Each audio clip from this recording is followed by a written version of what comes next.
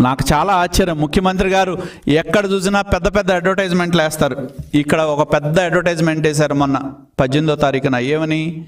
మేము mobile veterinary క్లినిక్లు పెడుతున్నాం అద్భుతాలు చేస్తున్నామని చెప్పి. ఈ ప్రభుత్వం చేసేది ఒకటే. ఈ రాష్ట్రంలో ఉన్న వ్యవస్థల్ని ముందు నిర్వీర్యం చేయటం.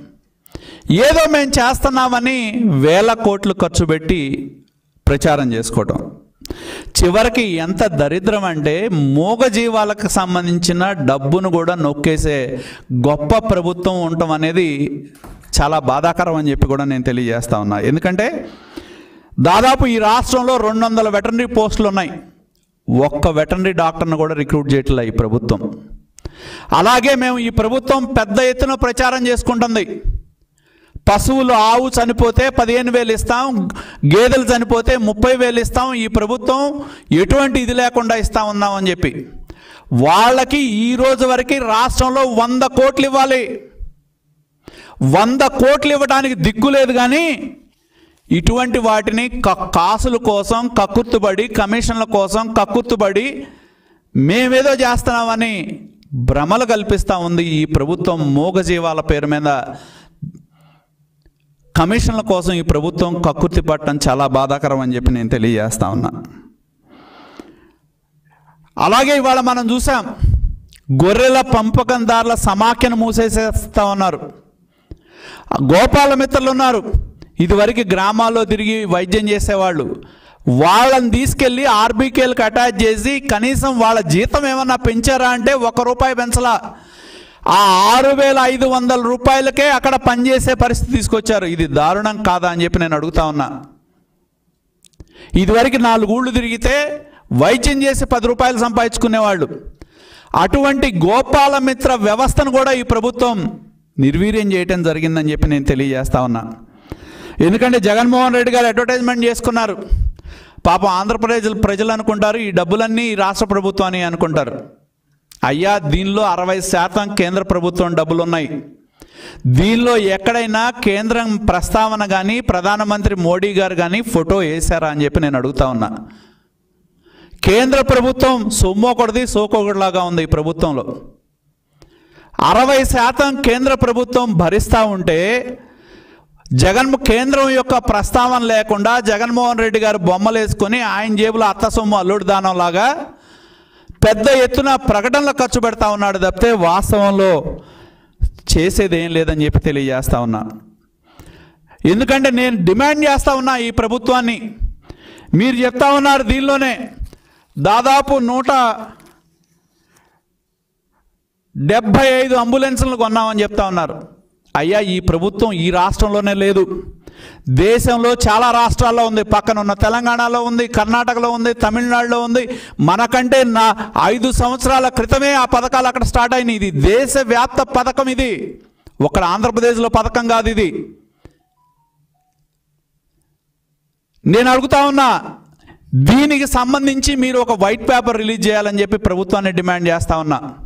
అంబులెన్స్ ఏ ధరకు కొన్నారు? మరి అదే మనుషుల దగ్గర నూట ఎనిమిదికి వస్తే జీవీకే పనికిరాదన్నారు. అదే జీవీకేకి ఇక్కడ నాకున్న సమాచారం ప్రకారం ఒక్కొక్క అంబులెన్స్ మెయింటెనెన్స్ కోసం లక్ష అరవై ఐదు వేల రూపాయలు ఇస్తున్న మాట వాస్తవమా కాదా అని చెప్పి నేను అడుగుతా ఉన్నా. అలాగే ఇక్కడ దోపిడీ ఎలా ఉంది అంటే నిన్న మొన్న చెప్తా ఉన్నారు. వెటర్నరీ డాక్టర్లని రిక్రూట్ చేసుకునేటప్పుడు యాభై వేల రూపాయలు ఇస్తామని చెప్పి కేవలం ముప్పై వేల రూపాయలు ఇస్తే ఆ డాక్టర్లు తిరుగుబాటు చేసిన మాట వాస్తవమా కాదా అని చెప్పి నేను అడుగుతా ఉన్నా. కాసుల కక్కుర్తి అంతకంటే ఏం లేదు కమిషన్ల కక్కుర్తి ఈ ప్రభుత్వానికి. అదేవిధంగా టీఎంఆర్ సప్లై. దాని గురించి ఎ- ఎక్కడ ఏం చేసినా మనవాడే ఉండాలి. మాలాంటి క్యాటిల్ ఫీడ్ ఫ్యాక్టరీలు ఉన్న కంపెనీస్ మేము క్వాలిటీ ఫీడ్ ఇరవై వేల రూపాయలకి ఇస్తా ఉంటే ఇరవై వేలు ఇరవై ఐదు టన్నుకి మేము అమ్ముతాం. ఇదే ప్రభుత్వం టీఎంఆర్ సప్లై ఎవరు? మనాడే. ఫర్టైల్ గ్రీన్ అని శివబి రామిరెడ్డి ఒకే ఒక్క కంపెనీకి ఇచ్చి. పదహారు రూ- పదహారు వేల రూపాయలకి మెట్రిక్ టన్ను కొంటున్నారు టీఎంఆర్. దీనిలో పెద్ద ఎత్తున జోపిడి జరుగుతూ ఉంది అంటే ఇంకో నాలుగు వేలు పెడితే మాలాంటి కంపెనీలు ఇస్తే ఇరవై వేలకి మంచి ఫీడ్. టీఎంఆర్కి పదహారు వేల రూపాయలు మెట్రిక్ టన్కి కొని రైతుల దగ్గర నాకు కొంతమంది చెప్తా ఉన్నారు రైతులు. బలవంతం చేస్తూ ఉన్నారు గ్రామాల్లో. రైతుల దగ్గర మీరు తీసుకోండి టీఎంఆర్ ఫీడు మీరు డబ్బులు కట్టించాలని చెప్పి తన వాళ్ళే కాబట్టి శివబి రామిరెడ్డి ఫర్టైల్ గ్రీన్ అనే కంపెనీకి రాష్ట్రంలో ఈ టీఎంఆర్ సప్లై ఒకే ఒక కంపెనీకి ఇచ్చి నలభై కోట్ల రూపాయలు ఆ కంపెనీకి దారాదత్తం చేస్తా ఉన్నమాట. వాస్తవమా కాదా అని చెప్పి ఈ ప్రభుత్వాన్ని ప్రశ్నిస్తా ఉన్నా. ఇదే కాదు. ఇప్పుడు మనం మనం మన- మనవాడే. మరి వాళ్ళ శాసనసభ్యుడికి సంబంధించిన వల్లభా ఫీడ్ని ఆర్బీకేలో అమ్ముతున్నారు. వాస్తవమా కాదా? చివరికి ఏ స్థాయిలో ఈ ప్రభుత్వం దోపిడీ ఉందంటే మోగ జీవాల పేరు మీద. డాక్టర్ని రిక్రూట్ చేయకుండా కాంపౌండర్లను రిక్రూట్ చేయకుండా వాళ్ళకి ఇవ్వాల్సిన డబ్బులు ఇవ్వకుండా చనిపోయిన పశువులకు డబ్బులు ఇవ్వకుండా గోపాల మిత్రులకి శాలరీలు పెంచకుండా సంవత్సరాల తరబడి ప్రభుత్వాలు ఏర్పాటు చేసిన ఈ వ్యవస్థని నాశనం చేస్తూ కమిషన్ల కోసం వీటిని మొబైల్ వెటర్నరీ కో క్లినిక్లని తెచ్చి తీసుకొచ్చి పెద్ద ఎత్తున ఈ ప్రభుత్వంలో దోపిడీ జరుగుతుందని చెప్పి నేను తెలియజేస్తా ఉన్నా. దోపిడీకి అనర్హతనే లేదు. ఎక్కడైనా ఏది ఉన్నా కూడా మూగజీవాల పేరు మీద కూడా దోపిడీ చేసే పరిస్థితి వచ్చిందంటే ఇంతకంటే దారుణం ఇంకోటి ఉందా అని చెప్పి నేను ప్రశ్నిస్తా ఉన్నా. వ్యవసాయం కానీ దాని అనుబంధ రంగాలు కానీ ఇవాళ సంక్షోభంలోకి నెట్టివేయబడ్డాయి. నిన్న మొన్న మనం చూసాం ధాన్యం మీద సస్పెంచారు ఆక్వా మీద సస్పెంచారు దాదాపు పదహారు వందల కోట్ల రూపాయల భారాన్ని అటు రైతుల మీద వేసిన మాట వాస్తవం కాదా అని చెప్పి నేను అడుగుతా ఉన్నా. అంటే ఒకవైపేమో రైతుల మీద భారం వేస్తూ ఉన్నారు. రైతుకి ఇవాళ మేము చూసాం మా మిర్చి రైతు ఈ రాష్ట్రంలో మిర్చి వేసిన రైతు ఐదు లక్షల హెక్టార్లకు పైగా మిర్చి రైతు నష్టపోతే ఈ రోజు వరకు ఒక రూపాయి డబ్బులు ఇలా ప్రభుత్వం వేల రూపాయలు పెట్టుబడి పెట్టిన రైతులు. మరి మిర్చి రేటేమో అమాంతం ఆకాశంలోకి వెళ్ళింది. వేల రూపాయలు ఖర్చు పెట్టి మిర్చి పంట పండిస్తే ఇప్పటి వరకు కూడా ఒక్క రూపాయి నష్టపరిహారం ప్రభుత్వం ఇవ్వలేదనేది గుర్తుంచుకోవాలని చెప్పి నేను తెలియజేస్తా ఉన్నా. ఆర్బీకేల పేరుతో ఈ ప్రభుత్వం అవి రైతు భరోసా కేంద్రాలు కాదు రైతు దోపిడీ కేంద్రాలుగా మారినాయి అని చెప్పడంలో ఎటువంటి సందేహం లేదని చెప్పి నేను తెలియజేస్తా ఉన్నా. పేరుకేమో బ్రహ్మాండమైన ప్రకటనలు ఇస్తారు. కానీ వ్యవస్థల్ని చేతిలో పెట్టుకొని వైకాపా నాయకులు వైకాపా కార్యకర్తలు కొనుగోలు కేంద్రాల్లో వాళ్ళే బయట కొనుక్కొచ్చి అమ్మి కోటీశ్వర్లయ్యారు తప్పితే ఈ రాష్ట్రంలో ఉన్న రైతులు బికార్లు అయ్యారనేది ఎటువంటి సందేహం లేదని చెప్పి నేను తెలియజేస్తా ఉన్నా. ఈ మూడు సంవత్సరాల పాలనలో నేను ఒకటే ఈ ప్రభుత్వాన్ని ప్రశ్నించేది. గ్రామీణ ప్రాంతాలు రైతాంగంతో ముడిపడి ఉన్న వ్యవసాయం కావచ్చు సాగునీరు కావచ్చు అలాగే గ్రామీణ ప్రాంతాల అభివృద్ధి కావచ్చు. తెలుగుదేశం ప్రభుత్వం ఉన్నప్పుడు ఒక సంవత్సర కాలంలో యాభై రెండు వేల పద్దెనిమిది పంతొమ్మిదిలో యాభై వేల కోట్ల రూపాయలు ఖర్చు పెడితే ఇవాళ మీ ఆదాయం పెరిగిన ప్రభుత్వానికి వచ్చే కేంద్ర ప్రభుత్వం నుంచి వచ్చే రాబడులు పెరిగిన ఇవాళకి ప్రతి సంవత్సరం ముప్పై వేల కోట్ల కంటే ఖర్చు పెట్టని మీరు రైతుల గురించో రైతు సంక్షే సంక్షేమం గురించో మాట్లాడటం హాస్యాస్పదం అని చెప్పి తెలియజేస్తా ఉన్నా. రైతులు తిరుగుబాటు చేసే రోజు వచ్చింది. మిమ్మల్ని నిలదీస్తా ఉన్నారు గ్రామాల్లోకి వెళ్తే రైతులని అడుగు అడుగున దో దోపిడీ దగా చేసిన ఈ ప్రభుత్వాన్ని రైతులు తరిమి కొట్టే రోజులు దగ్గరలోనే ఉన్నాయని చెప్పి తెలియజేస్తా ఉన్నా.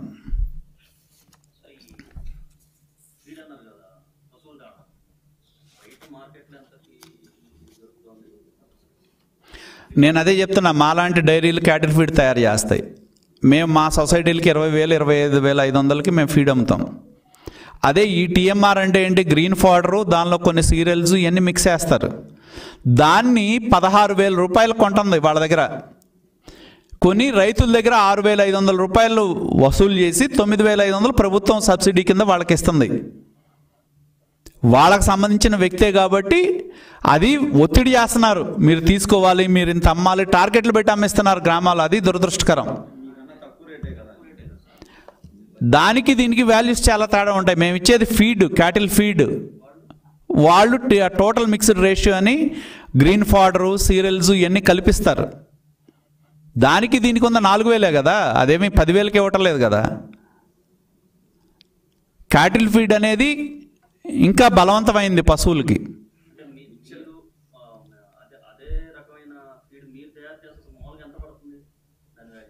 అంత అయితే పడదు. పదిహేడు వేల రూపాయలు అయితే పడదు. పదహారు వేల రూపాయలు కొంటున్నారు వాళ్ళు. పదహారు పదహారు పదిహేడు వేల మధ్య కొంటున్నారు. అంత అయితే పడదు. అది మన బ్రహ్మనాయుడు గారిది. వినుకొండ శాసనసభ్యులది. ఆయనది ఆర్బీకేలో పెట్టి అమ్మిస్తున్నారు. రాష్ట్రం మొత్తం ఉంటుంది కదా ఏదన్నా మరో పశువుల దాణా కుంభకోణం అది కుంభకోణం అంటారా? టీ ఏమంటారని అయితే నేను చెప్పలేను కానీ కానీ మూగజీవాల పేరు మీద కూడా దోపిడీ జరుగుతుంది. అందుకంటే దారుణం ఇంకొకటి లేదు. టీఎంఆర్ అయితే నాకున్న సమాచారం ప్రకారం బలవంతం చేస్తున్నారు. టార్గెట్లు పెట్టి వెటనరీ డాక్టర్లకు టార్గెట్లు పెట్టి మీరు ఒక వెటనరీ డాక్టర్ పరిధిలో ఏడీ పరిధిలో ఇంత కొనాలి ఇంత అమ్మాలి ఇంత కట్టించాలి అని చెప్పి ఒత్తిడి చేస్తున్నారు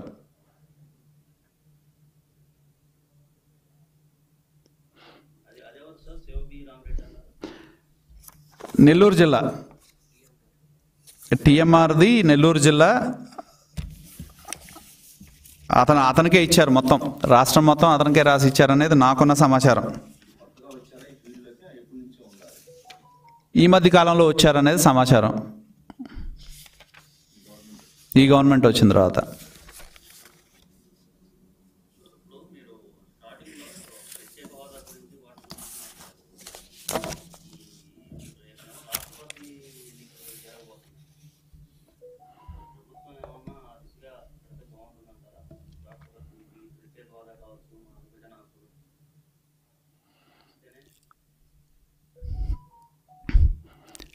అడుగుతుందని అనుకుంటారా?